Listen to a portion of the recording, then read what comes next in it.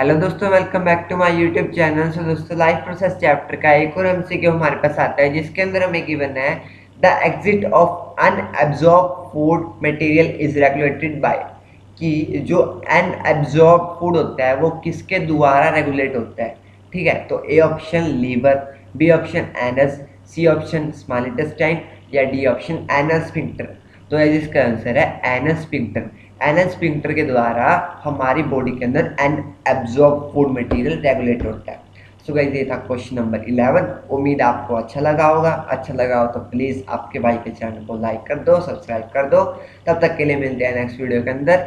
जय हिंद, जय भारत। और एक और बात मैं बता दूँ, अगर आपको इस चैप्टर की कुछ भी, इस चैप्टर के रिलेटेड कुछ भी डाउट हो तो कमेंट में बताओ। मैं आपको उस क्वेश्चन का रिप्लाई कर दूँगा या उस डाउट का रिप्लाई कर दूँगा तो प्लीज़ सब्सक्राइब कर देना गाइस तब तक के लिए मिलते हैं नेक्स्ट वीडियो के अंदर। जय हिंद, जय भारत।